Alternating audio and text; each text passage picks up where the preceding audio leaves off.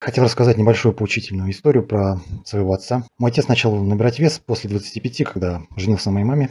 Почему он начал набирать вес? Ну, потому что он начал много есть. Начал набирать вес, и постепенно у него появлялись различные болячки. В конечном итоге он весил около 150 килограммов при росте 177. Конечно же, были попытки похудеть, много попыток. Но, как у большинства людей, которые в этом вопросе вообще не разбираются, они были совершенно бесполезны, потому что они были абсолютно неадекватны. Было и иглоукалывание, был и велосипед, который продлился примерно две недели. Была даже уринотерапия, друзья. Даже до этого дошло. И в конце концов было так называемое лечебное голодание, итогом которого стал срыв, естественно, срыв. Я обжираловка на протяжении нескольких дней после двух недель голода абсолютно полного, то есть на воде практически. Что привело к резкому ухудшению здоровья, появилась подагра.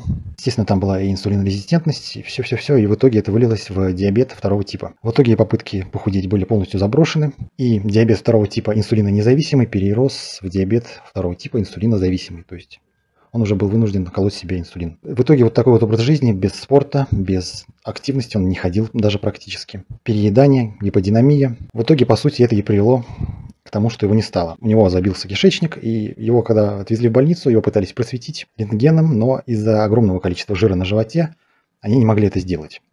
А в итоге потом было поздно. К чему я все это рассказываю? Э, я рассказываю это к тому, что у меня некоторая эмоциональная связь есть э, с тем, что я хочу помогать людям худеть, потому что я своими глазами долгие годы наблюдал, что лишний вес может творить с человеком, что незнание, как от этого лишнего веса избавиться, тоже могут привести к печальным последствиям.